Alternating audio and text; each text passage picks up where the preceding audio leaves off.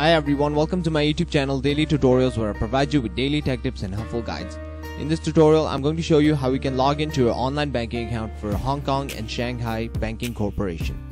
First, make sure you have a good internet connection and it's working properly. Then go ahead and open up a web browser. On the search bar, type in hsbc.com.hk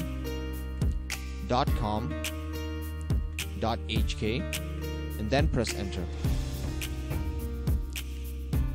Now once you land on this page, click on the option that says log on on the top right corner right here and then click on HSCB online banking. Now you have to type in your username here and then click on continue. Once you click on continue, you should be directed to a page where they will ask you for a password.